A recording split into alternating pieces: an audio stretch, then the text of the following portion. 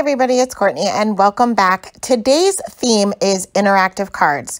I'm going to be using the Little Agenda Trains stamp set by Mama Elephant. You can see these are tiny little images and I am going to try my best to make an interactive card, which I'm sure you guys know is not exactly uh, something that I'm good at.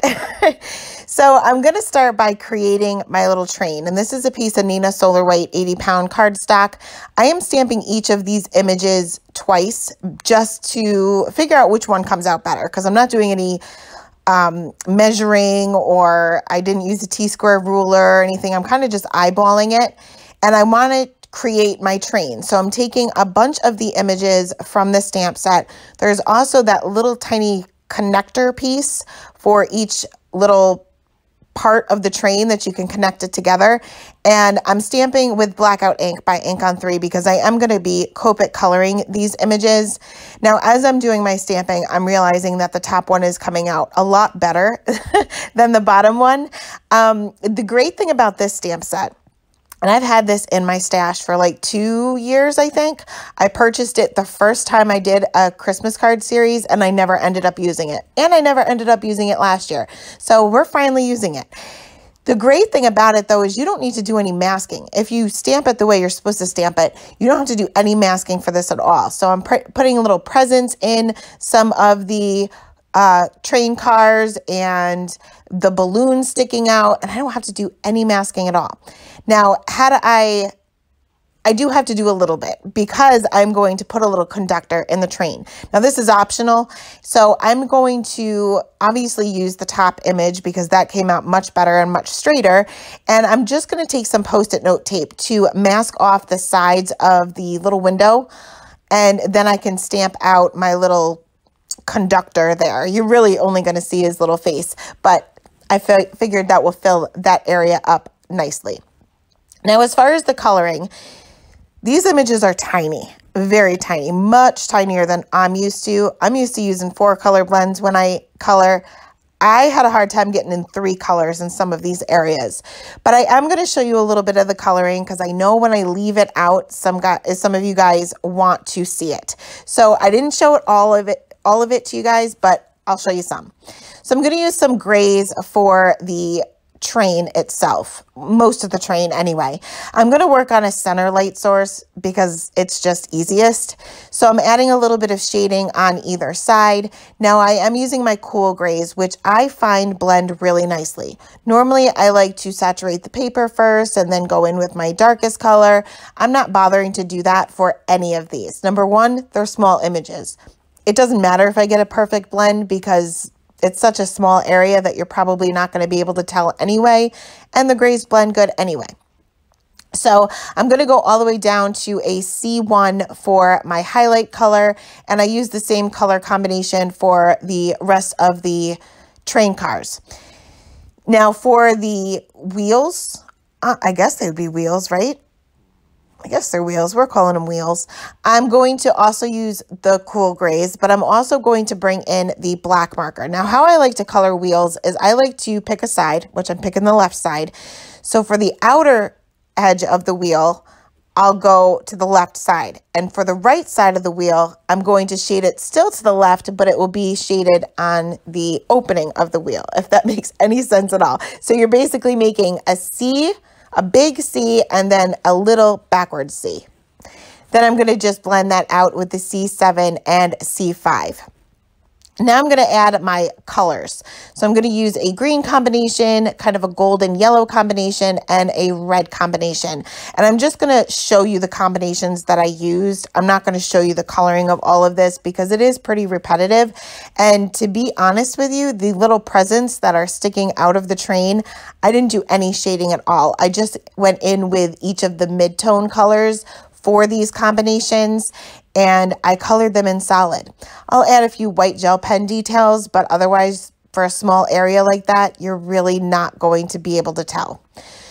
So for the balloons, I am like I said, using the three different color combinations. This is just the easy way to show you the combinations that I used. I'm doing the shading from the base of each of the balloons and working my way up. I should have colored the golden yellow one first before going in with the red, just because, like I say before, once the red kind of gets where in places that you don't want it to go, there's really no taking that back. So you want to be very careful with any red combinations that you are using. So once my coloring was done, like I said, I did add a few white gel pen details, just adding some highlights to kind of just some random areas. And if you're not using multiple colors or your shading's not mm, or your shading is minimal or maybe didn't turn out so well, adding some just details with a white gel pen will really boost that up. I went ahead and stuck this in my scan and cut and cut out the image. I did have to take a pen just to kind of fix up these little connector pieces just because my scan and cut wasn't recognizing them. Now for the assembly of the card, I am taking another panel of the Neenah Solar White. I ended up cutting off a quarter of an inch on the bottom. I'm going to line that up on my work surface and take two pieces of the post-it note tape to run that down the bottom. I'm just masking off the top. I'm going to do some ink blending for the sky, but I'm going to leave the bottom white. You can certainly do add as many details as you want. But like I said, interactive cards, I love them. I love watching people make them. I love seeing them on social media and on YouTube, but I am not good at it. I don't really have the patience to make anything really too complex. So I, I'm keeping it nice and simple. So for my sky, I am using some broken china, faded jeans, and chipped sapphire. I'm doing my blending the same way as I always do. I'm adding my base layer of color, just kind of getting some color down on the paper to kind of map out where each color is going to be. Once I reach the top, then I'm going to work in reverse. And this is where I'm going to be adding more ink and making sure that my colors actually blend. The first time around, as I worked my way up, I'm really not concerned with them blending. I'm just getting my color down. And the oxides blend similar to, you know, Copics and things like that. The more saturated the paper is, the better they're going to blend. Now keep in mind that they sit on top of the paper, which is why they blend so nicely, but they also stay wet for a very long time. So once I was happy with the blend, I went ahead and removed my post-it note tape and where, I guess you could call it snow because we're leaving it white. So it's going to be snow. I'm going to stamp the train tracks. I'm just stamping with some VersaFine Onyx Black ink. Didn't do a great job lining this up, but we'll fix that in a minute. I trimmed this down. Now, what I am going to do here, I'm just cleaning up my work surface because I stamped off and I have put my panels upside down and ended up with ink smudges. So make sure you clean your work surface. I am cutting off the train tracks, but I'm also cutting off a quarter of an inch. not going to use that quarter of an inch. There's going to be a gap. Once I place this on my card base, there's going to be a gap between the train tracks and the sky. So I really hated the train tracks. It was a little too messy for me. So I ended up restamping them on just another scrap piece of cardstock here and trimmed off the end because that's all we really need. As long as we have a gap and you'll see why in just a minute. Our train is going to move, kind of move, sort of. So next I can align everything up. Now I need to add foam tape to the back of the train tracks as well as the sky. But when you do this, you want to make sure that you're leaving a little bit of a gap where you start to add your foam tape. So whatever part of that panel is closest to the gap that we're creating, you want to add, you want to leave a little bit of space. You don't want to put your foam tape directly up to the edge. So I'm going to line up the entire back of this guy and I did have to cut my foam tape down a little bit for the train tracks, but once again, I'm putting it closest to the bottom. So it will leave that little bit of a gap. Now I can line everything up and how my pieces are going to move is I'm going to use pennies. So I'm using two pennies here. If it's a smaller image, you really only need one. I'm going to take off the foam tape for just my larger piece, so the sky. I can line that up onto my card base and then I'm going to line my pennies up. You want to make sure that your pennies or whatever coin you're using, whatever I know MFT sells little things that you can use, but I don't have them. So I'm using pennies. This is the old school way. I'm making sure that my pennies stay hidden behind the two sections that I'm putting this under.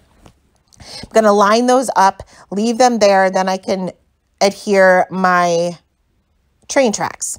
Again, making sure that the foam tape is on the bottom, that gap is next to the pennies. So this way the pennies have the ability to move. Next, I'm going to take two itty bitty pieces of foam tape and adhere those down to my pennies. This is going to be what sticks my little train to the pennies. The pennies are what's going to move, but the foam tape is obviously what's going to stick my train to the pennies.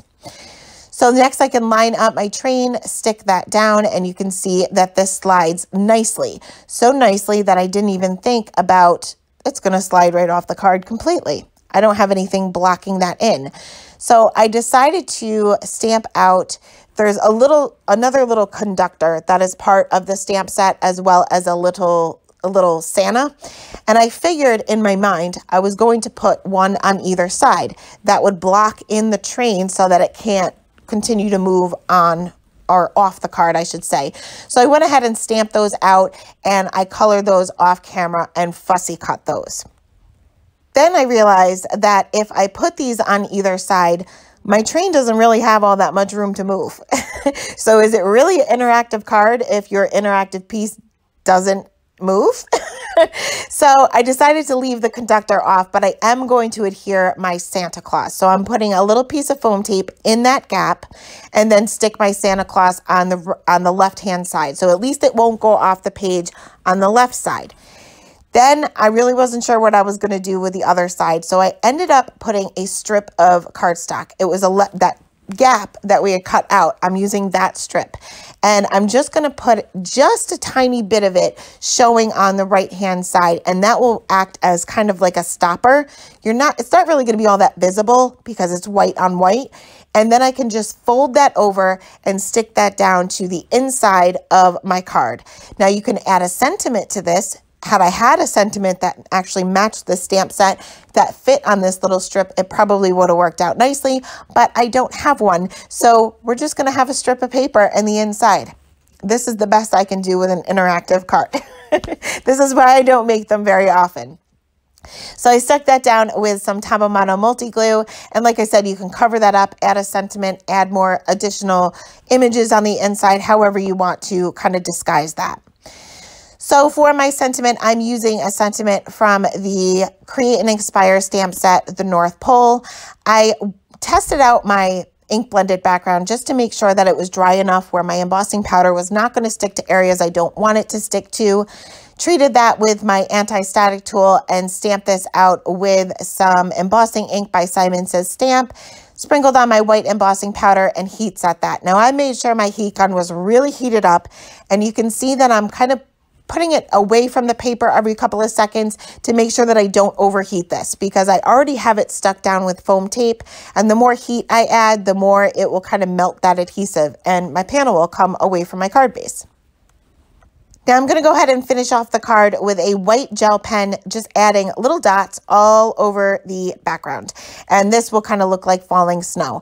Now it looks plain. I was going to add little trees in the background, but I was afraid that my tree, my train was going to get stuck on any additional images that I added.